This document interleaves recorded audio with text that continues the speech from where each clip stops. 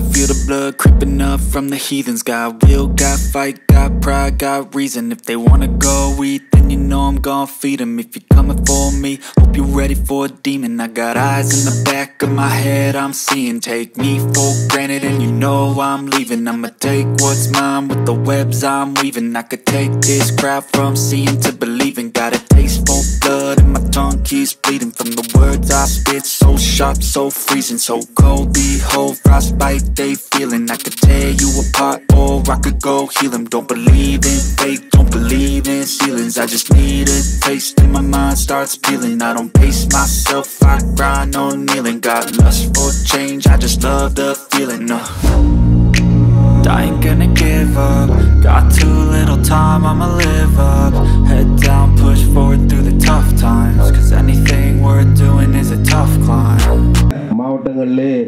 அளவிலான கிரிக்கெட் போட்டிகள் ஏற்பாடு செய்திருந்தாலும் இன்று மட்டக்களப்பிலே மிக சிறப்பாக ஏற்பாடு செய்யப்பட்டிருக்கிறது. உண்மையிலே இந்த முயற்சி எடுத்த கழக தலைவர் உறுப்பினர்களுக்கு நன்றியை தெரிவித்துக் கொள்ள வேண்டும். கிரிக்கெட் என்பது பல விஷயங்கள் இருக்கிறது. உடற்பயிற்சி வருமானம் நாட்டுக்கு வெற்றி பெறுகிற பொழுது மிகப்பெரிய உந்துதல். இந்த கிரவல்லே விளையாடிவிட்டு அல்லது மெட்டினை விதித்து விளையாடிவிட்டு புல்தரையை விளையாடுகிற பொழுது பெரிய அதிர்ச்சி இருக்கும். நல்ல திறமையானவர்களை கண்டு வளர்ப்பதுதான் கழகங்களுடைய நோக்கம். கிராமப்புறங்களை கண்டெடுக்கப்படுகிற அல்லது பாடசாலையில் கண்டெடுக்கப்படுகிறவர்களை கழகங்கள் அதுபோன்று மாவட்ட அபிவிருத்தி சபை அதாவது கிரிக்கெட் போர்டு இனங்கள் அதற்கு உதவி செய்ய வேண்டும்.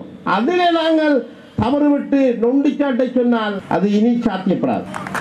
நாங்கள் கடந்த காலங்களில் பல குறைபாடு பிரிச்சிருக்கிறோம் ஆனால் இனி அப்படி இல்லாமல் தூய மனதோடு யார் நல்லது செய்தால் அவர்களுக்கு கரம் கொடுத்து தட்டி கொடுக்க வேண்டும். எவர் வருகிறாரோ முன்னுரிமை அளிப்பதுதான் எமது பணி என்ன இதை தனி மனிதனாகவும் சொல்கிறேன் மாவட்ட அபிவிருத்தி குழு தலைவர் அடிப்படையில் நான் சொல்லிக் கொள்ள விரும்புகிறேன். ஆக மொத்தத்தில் நல்ல நோக்கத்தோடு பொதுவாக சிந்திக்கிற எல்லோரும் நாங்கள் ஒன்றுபட்டு நிதி வழங்குவது ஆலோசனை வழங்குவது உங்களுக்காக அதை செய்ய வேண்டிய பொறுப்பு அமர்ந்திருக்கிற எங்களிடம் இருக்கிறது. அதை நாங்கள் ஒன்றுபட்டு நல்ல நோக்கத்தை வச்சோம் அது வர்த்தகம் கலந்து அழிந்து ஒரு சாரலுக்கு மட்டும் போகக்கூடாது.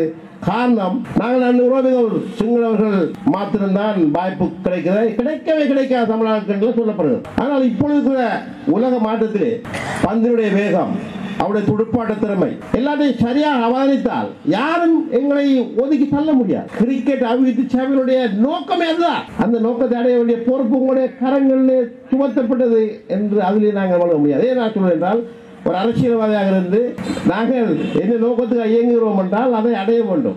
இல்லை என்றால் அடையவர்களை ஊக்கப்படுத்தி வழிவிட வேண்டும் என்பதுதான் என்னுடைய நிலைப்பாடு.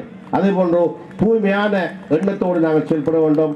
மீண்டும் மீண்டும் நான் சொல்லுகிறேன் திறமையான இளைஞர் இருக்கிறார்கள். உங்களுடைய விளையாட்டு நிச்சயமாக அதிகமானவர்களாக விரும்பப்பட்டு பார்வையிடப்படும் நம்பர். ஏன்னால் நான் பார்த்தேன் ஃபேஸ்புக் பேஜில் லட்சத்தை தாண்டி மக்கள் பார்த்துருக்காங்க அந்த பார்வையாளர்கள் நிச்சயமாக உங்களை அவதானிப்பார்கள். உலகம் உங்களை பார்த்துக் கொண்டிருக்கிறது. மட்டக்களப்பு சிவானந்த மைதானத்தில் விளையாடுகிறோம் என்று இல்லாமல் உலகம் உங்களை பார்த்துக் கொண்டிருக்கிறது. அதற்காக விளையாடி உங்களுடைய திறமையை காட்டி இந்த கள உறுப்பினர்கள் மிக கஷ்டப்பட்டு பல நாள் கனவோடு ஏங்கி அவர் பலியோடு கழகத்துக்குள்ளே பிரச்சனை அங்கு பிரச்சனை என்று சுமந்து வந்த பலியினூடாக பெற்ற அறிவால் ஏற்பாடு செய்யப்பட்ட இந்த ஏற்பாடு நிச்சயமாக வெல்லும் என்று நான் நம்புகிறேன்.